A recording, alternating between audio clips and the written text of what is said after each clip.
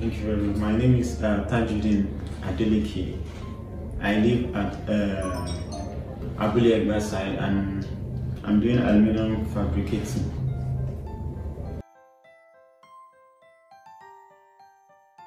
I like to, to always be in a cool place. Well, at first, when I saw the message, I was shocked, as in, was just wondering, ah, is this true or not?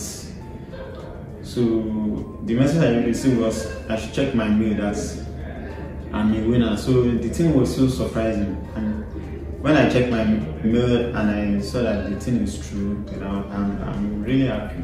I'm, I'm very happy that